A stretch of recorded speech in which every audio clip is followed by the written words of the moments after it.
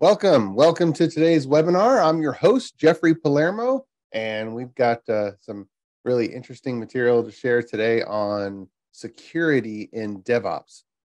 And Johnny is is helping me in the chat for uh, the resources that we share. We always like to share resources in our webinars. And if you have not checked out our webinar archives, then you definitely need to do that. Go to the Clear Measure website and, and uh, check out the archives. We have um, so many over the years. And uh, today we're going to talk about DevSecOps. Um, it doesn't really roll off your tongue, but it's really intentionally thinking about um, being resilient to security threats in your DevOps environment, in your DevOps process. And so we're going to go through how to think about that. All right. So um, as we go through, just a little bit about Clear Measure, just in case uh, this is your first webinar. We are a Texas based um, or Texas headquartered software architecture company that is empowering software delivery, enabling in house .NET teams to be self sufficient, able to move fast, deliver quality, and to run your systems with confidence.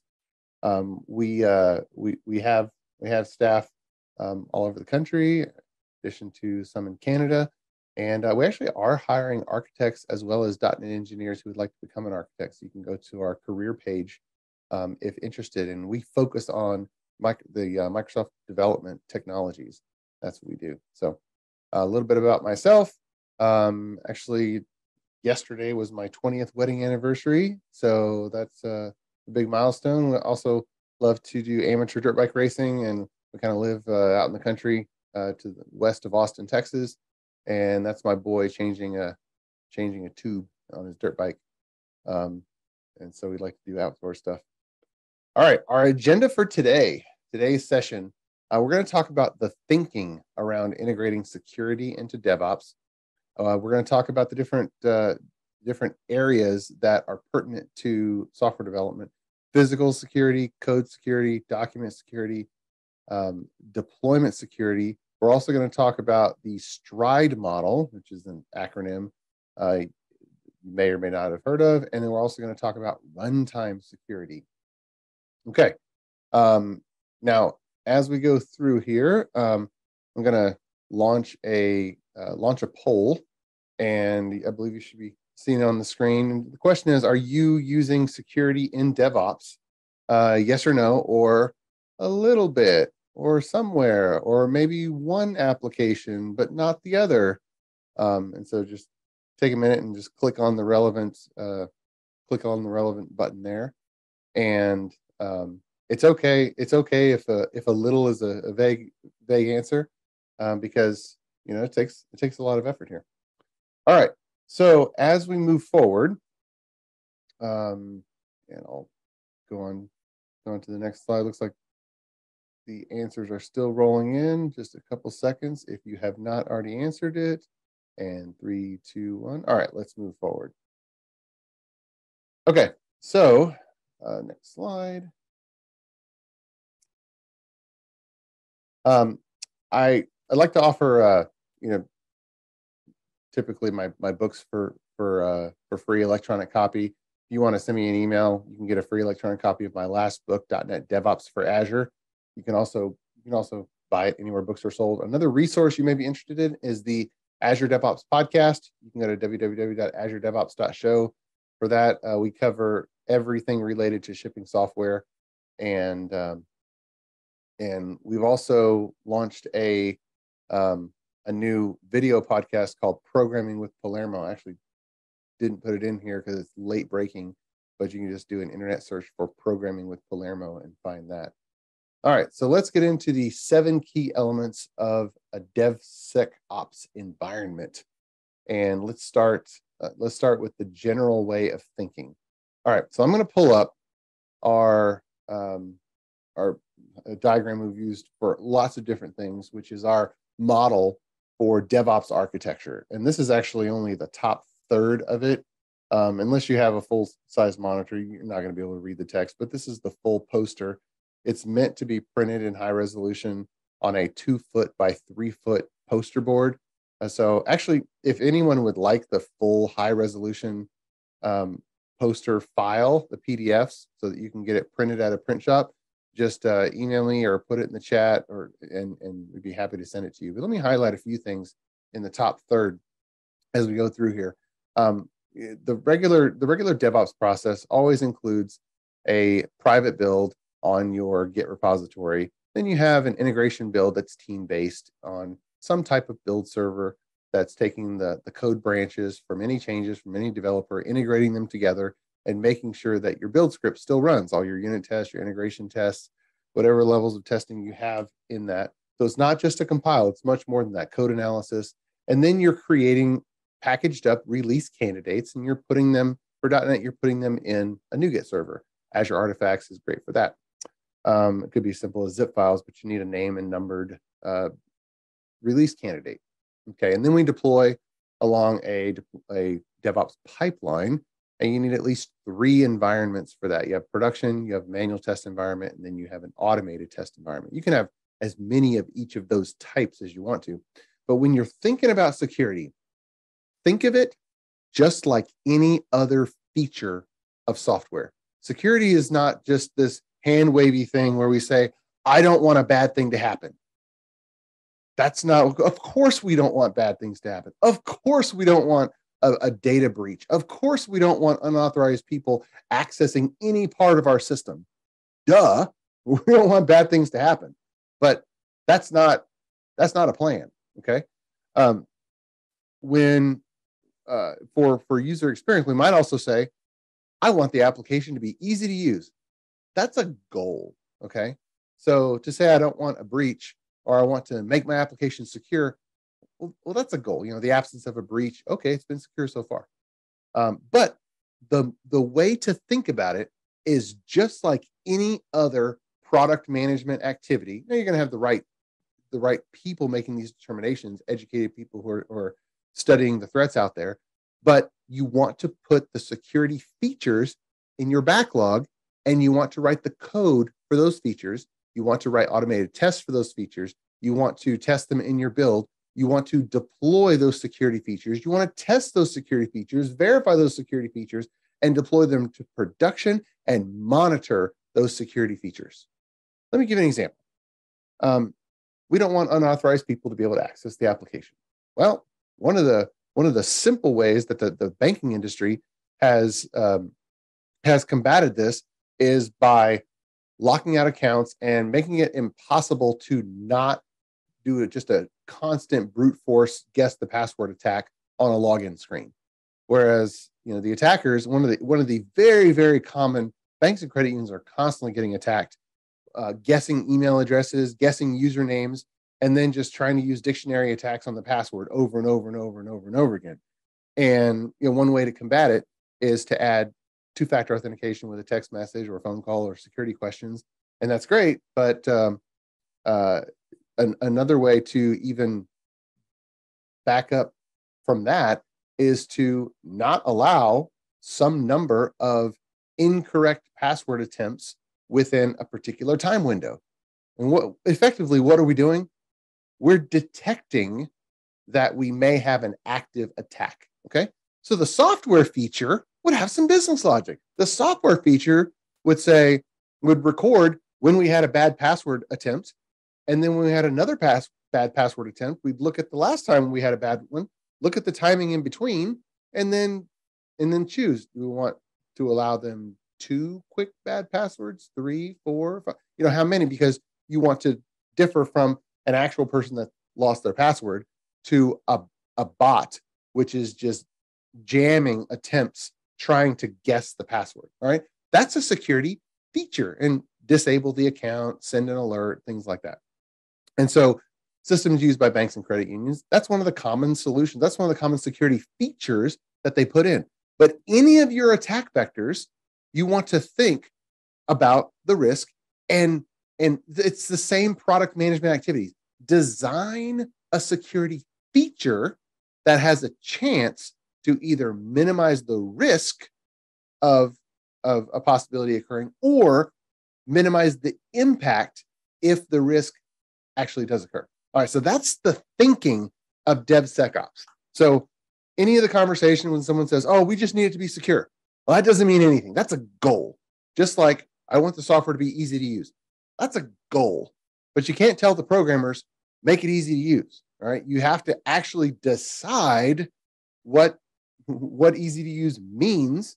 Uh, make some hypotheses, uh, banter around a little bit, and determine what you're going to do, and then you build it in using the same DevOps process you would uh, um, you would anyway. Um, this includes firewall rules, network configurations in Azure. Um, you know that's defined in code, whether it's ARM templates or Terraform, uh, and so everything everything can and should be tested. So that's how to think about DevSecOps. Now, um, another thing that you should also assume, and this is this is really true, you should assume that attacks are always happening. And if you've had a system that has any kind of online surface area at all, then you know that that's true. You you experienced it. Um, if any of you have just as simple as a public WordPress website, go look at your logs. There is constantly people trying to sniff out if you have a WordPress plugin with a known security vulnerable vulnerability, and they're trying those known um, URL paths to see if they can hack into your website. It's always happening. There's bots scouring the net trying to find known surface area. So just assume that it's always happening because it is. And then um, when it comes to the development team, we've we've already talked about that, and we'll, we'll talk more about that. But every user of your software needs to go through some security some security training. Um, even even the basics. We love KnowBe4 as a curriculum for for training every user, and it starts with basic things like um, knowing how to spot a email that is made to look like it comes from someone in your organization, but is really a phishing email. And it also has cur- curriculum, video training, um, and uh, another another resource is staysafeonline.org. I'd recommend this for everybody as well as your family members. And it's put out by the National Cybersecurity Alliance. And October is coming up. October is National Cybersecurity Awareness Month. And so, um, even if it's only your family, uh, you can send them some of the resources. But attacks are always happening. Okay, let's talk about physical security. Um, an example threat is files and data on a lost computer. And some of your uh, some of your tools against that is to make sure that that, that computer is actually joined to a domain or to Microsoft 365, um, where it can be sometimes located, but remote wiped and um, remote locked, where you can't really, uh, you have, if someone's going to try to brute force their way in the normal way, they have to go through the connected authentication processes. You can see that there's failed attempts and it can be remotely managed. Um, and, and, then another tool is BitLocker. Um, if they just take the hard drive out of that computer and connect it to uh, to an external external dock or external cable, if the drive is encrypted with BitLocker, that's a defense against that type of threat. If the hard drive is not encrypted, then they're going to get all your files. And uh, you know, with with Dropbox and OneDrive and Google Drive and so many so many shared drives synchronized over to computers, uh, the the threat there is actually a little bit bigger than it is if you're inside of a building on a network that works off of network drives where the files aren't synchronized and copied over.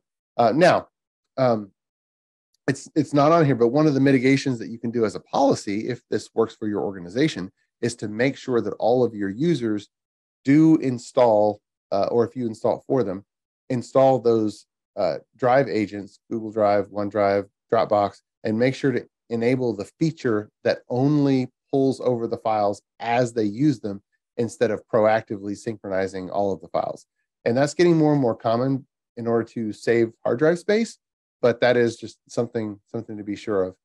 Um, because that can that can lessen the impact if data is breached. If a computer for some reason did not have BitLocker and they just pulled the hard drive out, now they have access to some files that actually reduces the number of files that we get access to. And then also, so many more people are working remotely, working from home, and the threat uh, is a breach on a home or a coffee shop or a co-working network. And so the mitigations against that type of threat is to you is to have your people use a virtual private network. Um, and you probably heard commercials for ExpressVPN, OpenVPN, um, NordVPN. Um, I mean, there's there's quite a few good ones out there, uh, but VPN is a very very good uh, mitigation against that particular threat because all of the traffic is going to be encrypted um, before it leaves the computer. Um, whereas even if uh, even if the traffic, you know, going to and from a particular website is encrypted, if you're at a co-working place and their network gets breached or is actively being sniffed, the sequence of URLs that are going through is going to be part of what's captured, what is breached. And oftentimes there's data flowing through a non-encrypted channel before you actually get into an encrypted channel. You don't want to rely on every individual website for that. So you want to hide the traffic. Um, if you're at home, if you have if you have employees or you and yourself are completely at home, then it's a really really good idea to be working in a uh, in a network or a VLAN, a network environment that has as few devices as possible on it um, and you have to make a you have to make a decision that you're going to trust your internet service provider to your home um, because if they get breached then all your traffic gets uh, all the traffic logs get leaked. Well that's a big issue. But if we have one network at home or if we just use the default configuration the default wi-fi router um, we've seen we've seen homes with with dozens of iot devices you got the Amazon Echo and the Google devices and um, smart switches, every device under the sun. And these these consumer level devices are not are not all created equal, and and most of them are just getting to market. And you know we're we're gonna hear stories about about the breaches of those, and then there's a little bit of code running on a little computer inside a smart switch that's constantly scanning your network and trying to find vulnerabilities and so the one if you work remotely, then what you can do is you can take your own computer and you can put it behind a router or, or configure the router that you have to be an isolated network with with no traffic back to the regular Wi-Fi with all those all those uh, smart devices on there. Okay, another threat that I want to talk about is compromised passwords. Um, this is one another one where you should assume it's happening um, the the modern the popular browsers are now giving you some help. Apple's giving some help. Google's and Microsoft, um, where there's there's uh, notifications now that your password has leaked, and um, you know you can go to you can go to um, you know those those browsers and the password lists. Uh, actually, LastPass, a password manager, um, it also has a built-in feature that will that will scour certain lists that are known to share passwords, and it'll see if it can find um, find a leaked password. But uh, you want to, you definitely want to use LastPass or another password manager. You don't want to rely on remembering things because if you rely on remember, remembering it, then your password is going to be weaker than using you know a really long string of gobbledygook that uh, is just cryptographically harder to brute force. And then, of course, um, you want to expect that your passwords are going to be breached at some point for at least some account. And so, to mitigate that, use two factor authentication. Um, now, uh, it is it is true that when you're on an airplane, uh, sometimes you can't get text messages or the text message channel is different from the Wi-Fi channel in a few cases, but most of the time it works good. But but also um, adding in authentication apps um, is a good practice as well. And then uh, with a phone, there are known attacks where a if if you leave your phone alone for any given period of time, somebody can grab your phone, pop your SIM card out, quickly clone it, and then put your SIM card back in. And when this happens, now somebody else can get all of your text messages.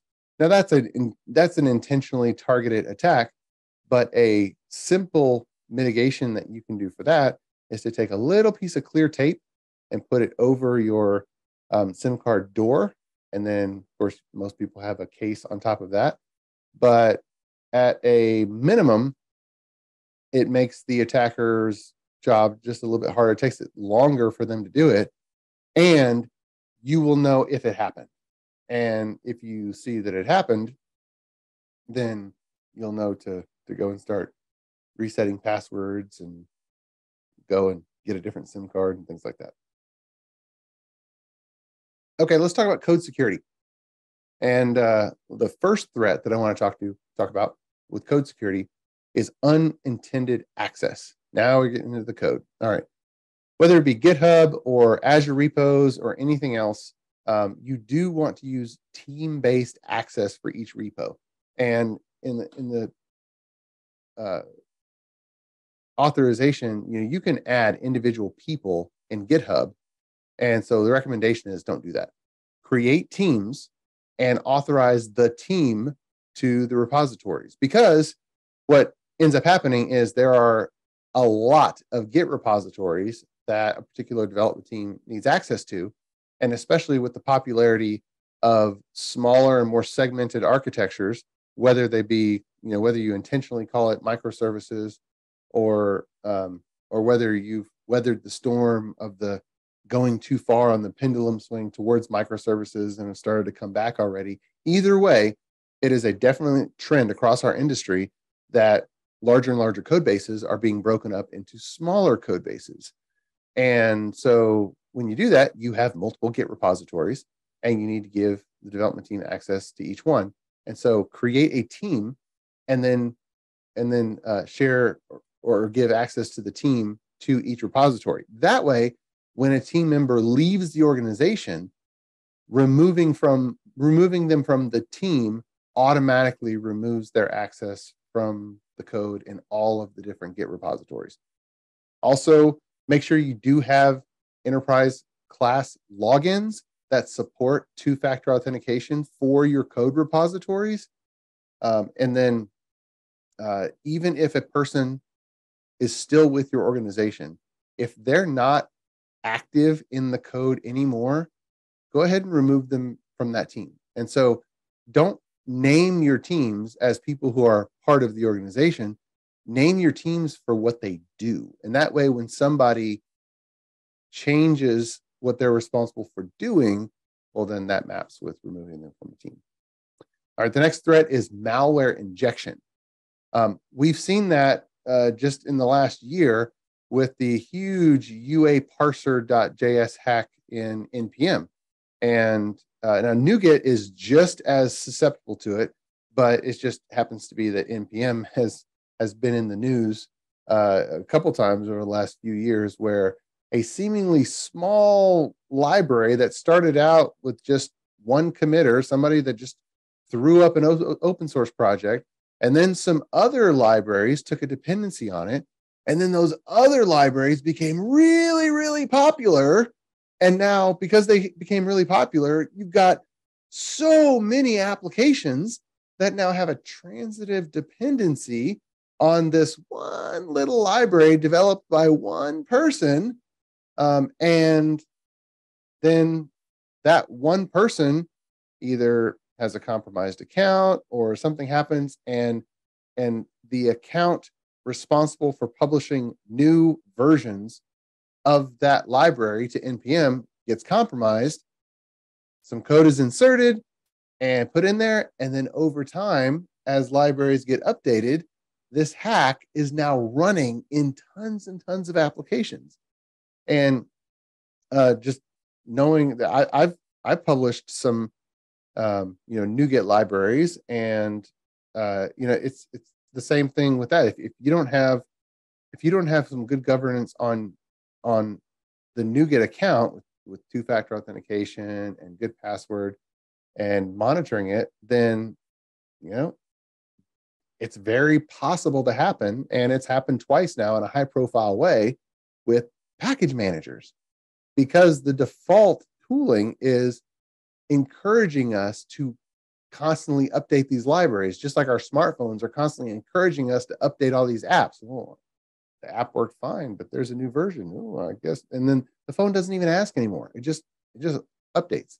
Okay. And then we have malware injection. So for that threat, um, first of all, you want to talk about that with the team because if you haven't had our conversations about that, then you're not going to have good awareness. But you want to insist on pull requests um, for every change. Don't commit directly to master. Insist on pull requests, feature branches, pull requests, uh, because then you can see the changes to your CS proj file and you can see that a new version of a particular package was coming through. And if that particular feature didn't require that new version to come through, then you can question it. And if you are intentionally upgrading libraries, that's great. Let's go down the chain of everything that we're updating and make sure that it's as we as we expected. All right.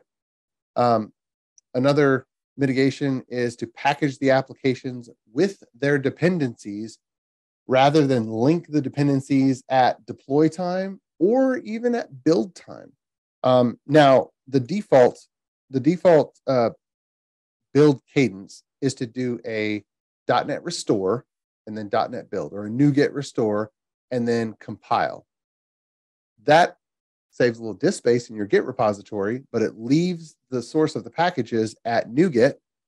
And um, there's you know there's an argument in the industry still about whether we should check in all of the libraries in our own applications Git repository or whether we should get them from NuGet every time. Now, Microsoft has made the decision that for their purposes, they're going to make the default be get it from NuGet every time.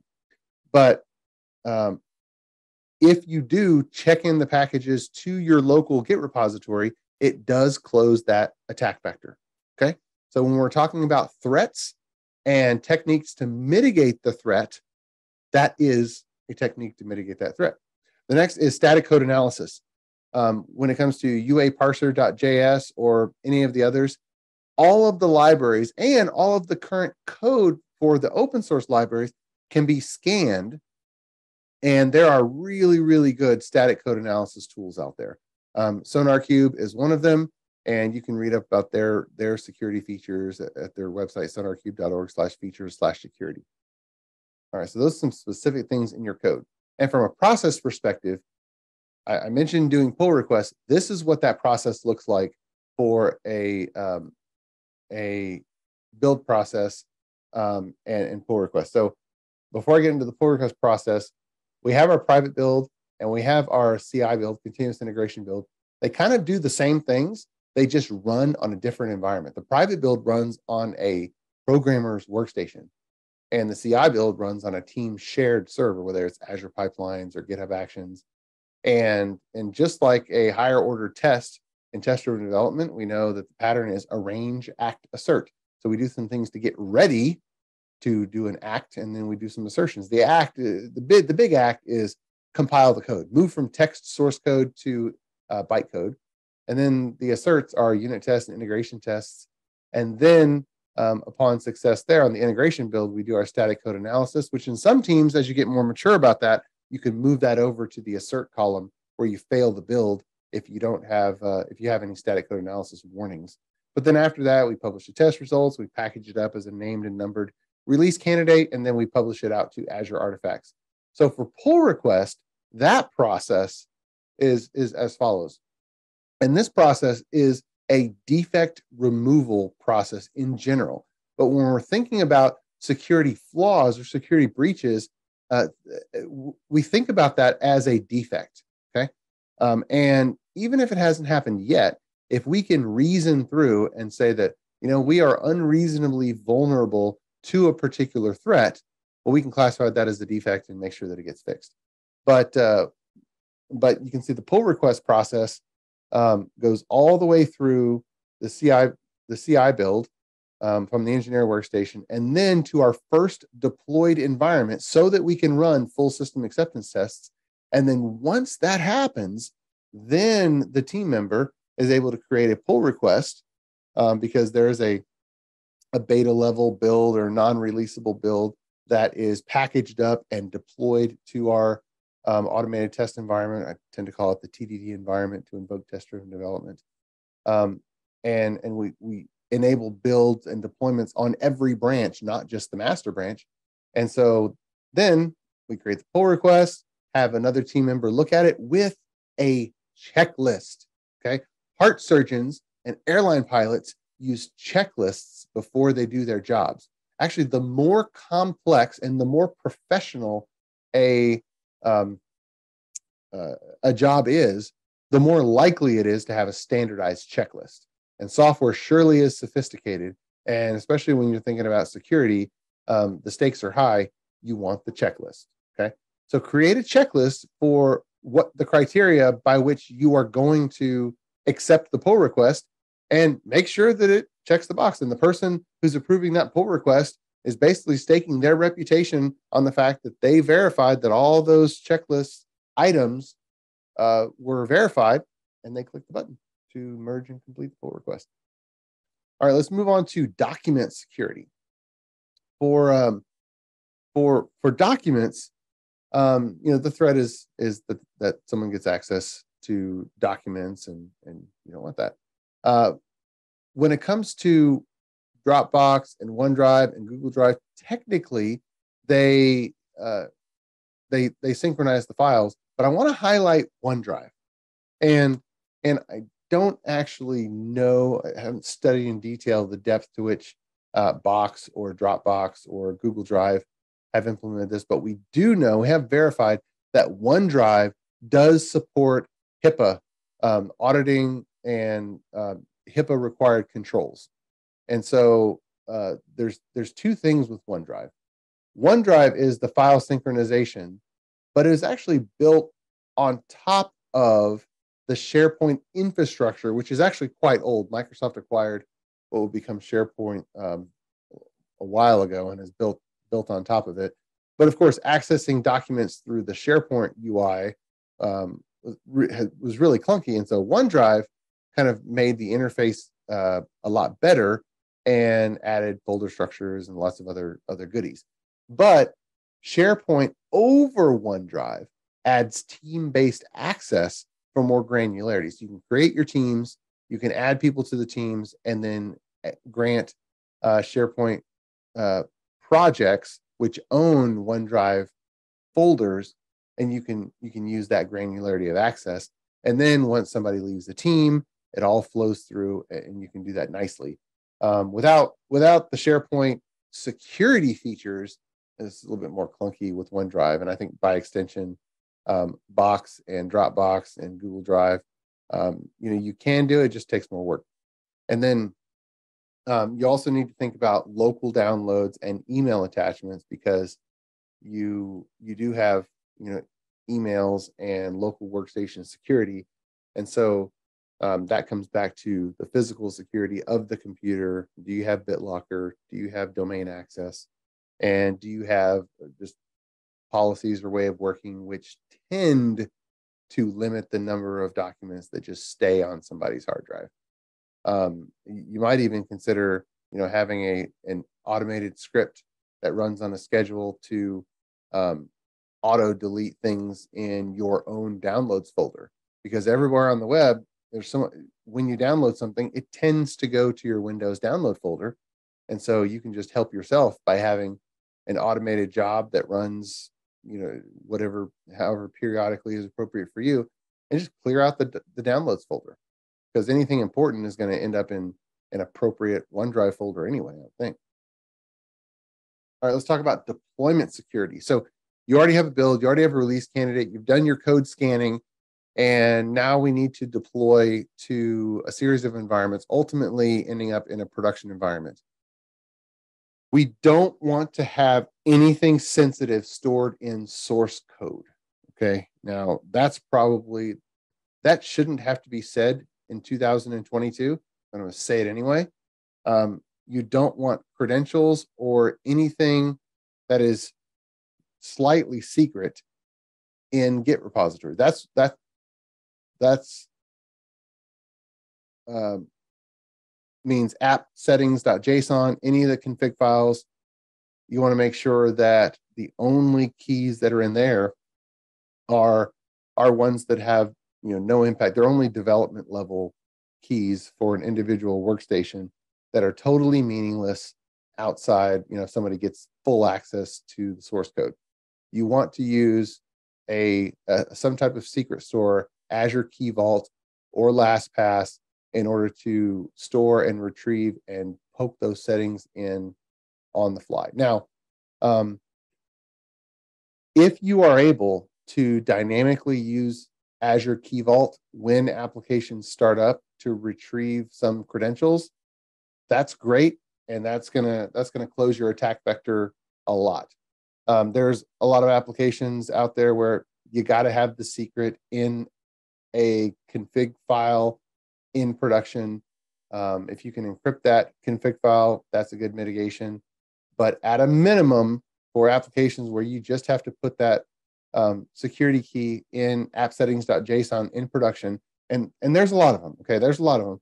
You want to make sure that that is stored in a secret key with masking in uh, Azure Pipelines or Octopus Deploy. Both of them support one-way only encryption from the UI, where they're stored in a uh, a secret variable for the purposes of poking them into the app settings.json file but there's no way that any users of application pipelines or, or sorry, Azure pipelines or Octopus Deploy are going to be able to get that key out. Uh, now, once you have fully automated deployments using either one of these tools, then's the time to make sure that you don't accidentally have unnecessary production environment access from any of your team members. If you don't have automated deployments all the way through production, then that's a, a huge gap now because you have humans that are handling the security keys for every deployment. You want to get that automated. Okay. Um, on build level variables like connection strings that do embed a particular secret, like like a password, um, refactor them out so that the connection string is built on the fly from multiple other variables. Don't repeat the connection string and thereby repeat the secret because then you have to mark the whole connection string as secret and then nobody can even see what it is and then you start to slow down developer productivity. All right. I think we covered all that. Okay so with this process there is one mistake that we still see people in 2022 making when it comes to implementing deployment automation. And the mistake that we see some people still doing is building from source code to production or going back to source code to build to the TDD environment or build in order to deploy to the UAT environment. Uh, if, if continuous integration is implemented properly, you will build once and deploy many. You will build once for a particular change, a particular commit in the Git repository, and you will create a deployable set of release candidate packages. If your application is super simple and only has a web application and a SQL Server database, then you're going to have two things to deploy. One deploys on a database server, one deploys on a on Azure App Service. And so you have two things to deploy and two um, packages. Every time your deployment automation uh, goes to deploy a particular release number, it should go to Azure Artifacts to your NuGet server or go to the NuGet server built into Octopus Deploy and grab that particular release candidate and then deploy the two different deployable pieces to your web application and database. That way, the deployment is doing the exact same process every time, is deploying the exact same release candidate, and there is no attack vector that is possible between the build and production. And it doesn't even matter if something did get compromised in a down level NuGet package because the dependencies have already been 100% embedded in the release candidate NuGet package, the scanned and verified copies of those libraries will be deployed all the way through to production. Whereas if you have anywhere a NuGet restore happening, then you may get a different version of a library between the time you had your uh, CI build succeed and the time you actually put that build number in production. You don't want to open that attack vector. And that's why you want to build once, deploy many, because your build is your verification and you want to create your release candidate packages and save them and use them. All right, the stride model. If you haven't heard uh, of the stride model, it's an acronym and it's spoofing, tampering, repudiation, information disclosure, denial of service, and elevation of privilege. Uh, we could do a whole another one to two hour webinar just on the stride model. So if you're not familiar with it at all, then just do some do some uh, internet research, and I'm sure you'll find plenty of information about it. But that is a way of thinking about the threats that you may need to design a security feature around. Ask yourself, in what ways could an attacker spoof an identity? In what ways could an attacker attempt to tamper with data? In what way could an attacker do something and then repudiate that it was done or deny that they were the ones that did it or make it look like somebody else did it. So it's it's a way of thinking so that you can design, you can identify threats for your particular software and then help you to design uh, software features. And when I say software features, I'm including code that runs in your cloud infrastructure because it's all code, it's all automation, it's all something that you would put in your Git repository and and ultimately get into production. Okay. Um, so that's that's the stride model. Um, just the, the last three, just for those who might not be familiar with it, information disclosure is an information break or data leak, um, and and because of it, public trust and and thereby revenue can drop drastically when we see that happening. Denial of service is the system going offline by the actions of an attacker, and elevation of privilege is uh, is coming in, an attacker coming in with a lower level of access and then maneuvering in some way to get their account elevated so that they can do more things. Okay. Um, when you're laying out a process, a product management process, which product management is kind of the beginning of DevOps, even though it doesn't have any DevOps automation. So a lot of times it's not talked about in the same in the same paragraph. But everything that is deployed is envisioned in the product management process. So if somebody in product management says, well, we need the application to be secure, or you need to expand that conversation and talk about, well, what are we looking to avoid? Obviously, data breaches. What are we looking to accomplish? Well, we need a particular, we need to pass a particular audit. Like we need to do a PCI audit. We need to do a SOC 2 process. We need to get some FERPA documentation because we're operating in the K through 12 education space. Whatever it happens to be, whatever the objectives are, state those objectives and then back it out to some product backlog items, some features that can then be designed with the hope of accomplishing those outcomes. And these are the main stages that any feature needs to go through for, for software. But let's let's talk about it through the lens of a security feature and I'm going to show you a different view.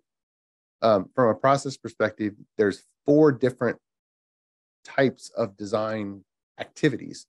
The conceptual definition is what some a lot of people think of, you know, requirements gathering. Just think of the requirements, the business requirements. User experience design is how is a person going to interact with it.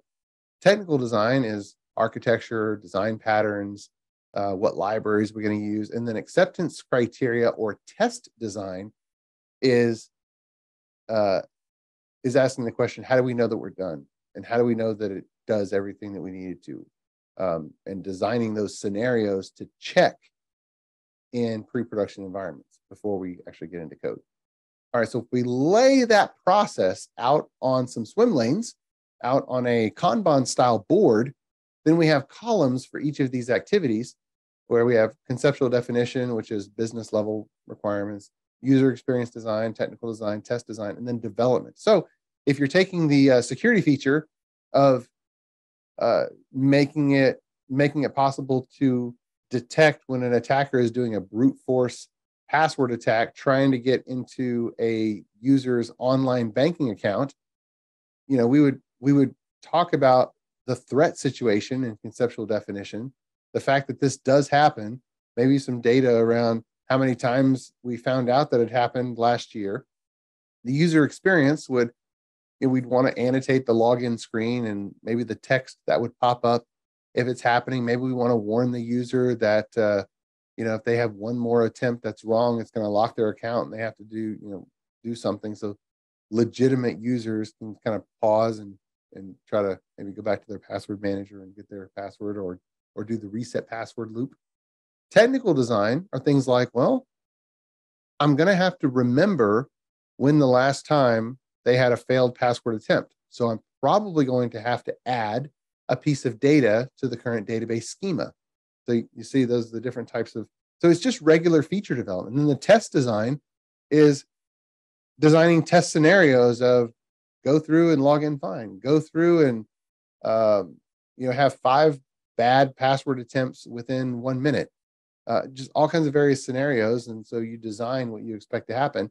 And the, again, the trick here is to translate from an objective, which is don't let bad things happen, and analyze what all your threats are and design features to do two things. One is make it less likely that the threat will come to fruition. And the second is if the threat does actually occur, lessen the impact if it occurs. Design features around that and now now you have a security backlog. All right, uh, something else you need to know is the OWASP top 10. And we we always at Clear Measure, we always try to simplify complex topics. And there's other people also that have simplified um, simplified these these security concepts. And OWASP is one of the organizations that have done a good job of it. And they've constantly published the top 10 um, the top 10 uh, most frequently successful attacks. And and so in 2017, they had a, uh, a survey, and in 2021, they had a survey. And not only did they publish the top 10 security vulnerabilities that are, um, you know, successfully exploited, but they also published the differences. And so we see that injection, um, now SQL injection is the most common type of injection, but um, injecting code uh, was number one in 2017, it's still on the top 10 list, but it lost two spaces. Uh, broken access control went from number five to number one from 2017 to 2021. And there are three new problems in 2021 insecure design, software and data integrity failures, and server side request forgery. Those are the new ones. And uh, um, the ones with the the ones with the dotted lines were kind of eliminated and merged in with some others. But anyway, if you are not, if you have not studied the OWASP top 10, there's plenty of good material out there, and I encourage you to do that. All right, let's end on runtime security.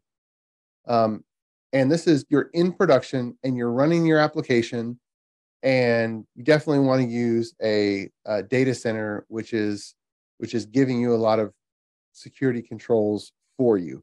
Um, obviously, Azure does a great job about it, and you can piggyback off of Azure's um, security certifications and audits, and pretty much any security audit that you would need to to tackle. Azure has already gone through those processes, and you can take the results of those audits and use those as part of your compliance uh, process. But um, Microsoft in Azure provides security recommendations built into every one of the services. So use those. Um, and also, um, you can use uh, you can use Azure Sentinel um, as you know one of the one of the security information event management systems, um, abbreviated. You can pronounce it SIEM. Um, but those are those are systems that actually track a security event, a detected a detected attack, or if it, or if it thinks that it's attack, and so you can log those.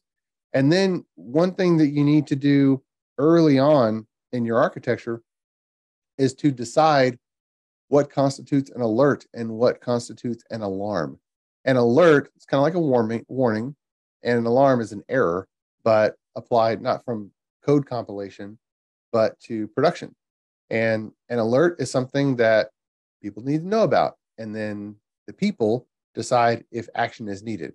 An alarm is clear cut and it's blaring out to everybody hey, action is needed now. Okay, that's an alarm. And you need to intentionally decide what constitutes an alert and what constitutes an alarm.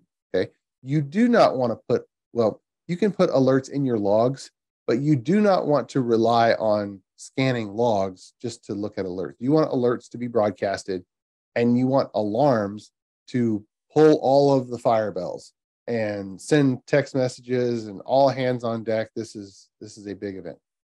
And then you want to maintain a formal on-call schedule because if you have an alarm go off and all of the phone numbers and emails are getting lit up, but you don't have anybody who's actually paying attention to those phone numbers or emails, then you've got a big gap. So you want to maintain a formal on-call schedule so that you have someone whose who, whose job it is to um, respond immediately to alarms and to evaluate the alerts. All right.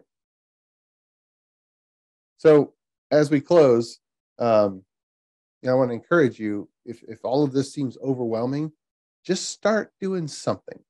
Um, you know, determine somebody who's on call.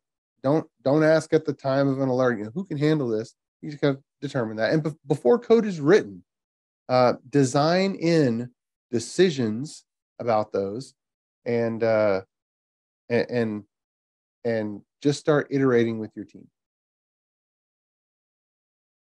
Okay, that is a lot of information. Uh, we barely got it in on time, and um, I love answering questions. And so send me emails, Jeffrey at clear-measure.com, and uh, and and whether I can answer it in email form or whether we need to get on the phone and answer an email. If you want a copy of my book, .NET DevOps for Azure, an electronic copy of the book, then go ahead and do that. And um, I believe that the questions that came in on Q and A were able to be answered uh, as we were going through.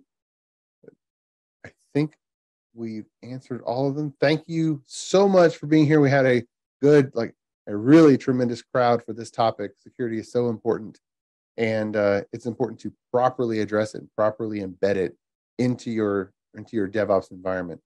So thank you all again, and uh, stay tuned for the next Clear Measure webinar. Again, we're a software architecture firm that that seeks to um, empower software teams. We want you to be able to move fast, to deliver consistent quality, and run your software with confidence. And you can do it. You can do it. So thanks so much for being here. God bless.